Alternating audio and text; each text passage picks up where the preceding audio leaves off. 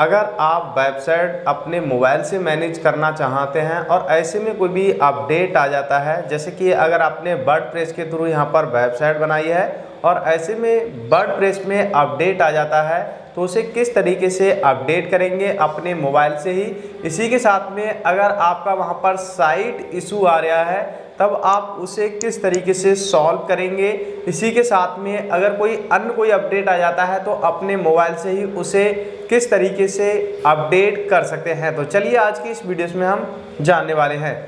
तो सबसे पहले मैंने अपने मोबाइल में वेबसाइट को ओपन कर लिया है, ठीक है? ओपन करने के बाद में आपको जो कि बर्ड प्रेस के डैशबोर्ड पे जाना है और आप यहाँ पर देखेंगे जैसे कि अपडेट छः अपडेट आया है बर्ड प्रेस में, ठीक है? इसी के साथ में प्लाज्म जो कि मैंने यहाँ पर डाउनलोड कर रखे हैं तो उनके भी यहाँ पर अपडेट आ गए हैं, ठीक है? तो इन सारे को किस तरीके से हम अपडेट करेंगे? आज की इस वीडियो में हम जानने वाले हैं। सबसे पहले हम बर्ड प्रेस को अपडेट करेंगे तो चेक पर हम सिंपली क्लिक करेंगे और अब ये हमारा जो बर्ड प्रेस है, वो यहाँ पर अपडेट हो जाएगा, ठीक है? जो भी करंट में वर्जन चलता होगा वर्ड प्रेस का, वो यहाँ पर शो होने लगेगा।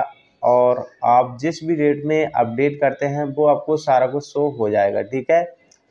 तो चलिए हम यहाँ पर थोड़ा वेट कर लेते हैं और ये हमारा अपडेट वर्ड प्रेस हो रहा है।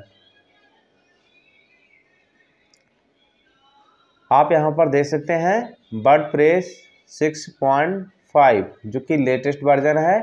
नीचे से आप ऊपर की तरफ़ स्क्रॉल करेंगे गो टू डैक्सबोर्ड अपडेट इस पर आप सिंपली क्लिक करेंगे, आपके सामने डैक्सबोर्ड आ जाएगा कुछ इस तरीके से। उसके बाद में आपको अपडेट प्लाज्म, ठीक है? इस पर आप सिंपली क्लिक करेंगे। तो आप देख सकते हैं, यहाँ पर अपडेट देखने को मिल रहा है। तो हम चलिए इन्हें सिलेक्ट करते हैं और अपडेट कर देते हैं। अब जो हमारे अपडेट हैं, वो प्लान हो रहे हैं, ठीक है? जैसे कि एक और यहाँ पर दूसरा अपडेट होगा, उसके बाद में एस ई ओ वाला, ठीक है? एस यू वाला। उसके बाद में अब यहाँ पर हमारा तीसरा अपडेट होगा। तो आप देख सकते हैं, जो प्लगइन थे, वो यहाँ पर अपडेट आ रहा था, वो हट चुके हैं। और आप नीचे भी देख सकते हैं, सक्सेस कंप्लीट, ठीक है? उसके बाद में आपको यहाँ पर करना क्या है, हम यहाँ पर होम पर सिंपली क्लिक करेंगे। जैसे होम पर सिंपली क्लिक कर देते हैं तो हमारा ये होम पेज यहाँ पर ओपन हो जाएगा। उसके बाद में अब हम देख लेंगे, कोई अपडेट मांग तो नहीं रहा है तो हम क्या करेंगे? यहाँ पर इसे एक बार रिफ़्रेश कर लेंगे, या फिर आप इसे डैशबोर्ड पे सिंपली क्लिक करेंगे। तो आप देख सकते हैं अपडेट मांग रहा है तो हम यहाँ पर अपडेट पर सिंपली क्लिक करते हैं। अब हमने यहाँ पर वर्ड प्रेस भी अपडेट कर दिया है थीम्स हैं। ये आपको देखने को मिलना है तो कहने का मतलब है जो वर्ड प्रेस के थीम्स हैं, वो अपडेट नहीं हुए हैं तो हम इन्हें आल सिलेक्ट पर सिंपली क्लिक करेंगे। अपडेट थीम्स पर हम सिंपली क्लिक कर देंगे। अब जो भी आपके थीम्स थे, वो यहाँ पर अपडेट होना शुरू हो जाएँगे। जैसे कि आप यहाँ पर देख सकते हैं, दो अपडेट हो गए हैं, और हमारा तीसरा भी यहाँ पर अपडेट हो जाएगा और ऊपर जो रेड कलर में आइकन देखने को मिला है वो हट जाएगा, ठीक है? और हमारे तीनों यहाँ पर अपडेट हो चुके हैं पूरी तरीके से, देख सकते हैं? और वो जो रेड कलर का आइकन आ रहा था अपडेट का वो यहाँ पर हट चुका है। उसके बाद में आप यहाँ से बैक भी कर सकते हैं, ठीक है? या फिर गो टू थीम्स पर भी क्लिक कर सकते हैं। तो हम क्या करेंगे? यहाँ से एक बार रिफ्रेश कर लेते हैं। ताकि अगर कोई भी होगी समस्या तो वो यहाँ पर अपने आप ही हो जाएगी, ठीक ठीक है?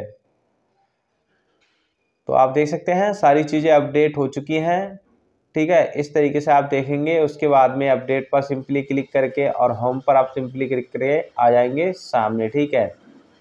अब अपनी सेट हेल्थ देखेंगे अगर सेट हेल्थ जो आपकी गड़बड़ दिखा रहा था और कोई भी अपडेट थे तो वो अपडेट यानी कि अपडेट कर देते हैं तो जो आपकी सेट हेल्थ है, वो गुड हो जाएगी। ठीक है, देख सकते हैं। तो सेट हेल्थ है, वो गुड हो चुकी है। होम पर हम आते हैं और आप यहाँ पर भी देख पा रहे हैं, जो आपकी सेट हेल्थ है, वो यहाँ पर गुड दिखा रहा है। और इस तरीके से अगर आप अपनी वेबसाइट को मोबाइल में ही मैनेज करना चाहते हैं तो बहुत ही आराम से कर सकते हैं। अगर आपका कोई भी सवाल है या कोई भी कन्फ्यूज़न है तो मुझे नीचे कमेंट सेक्शन में दे सकते हैं। मिलते हैं नेक्स्ट वीडियोस में।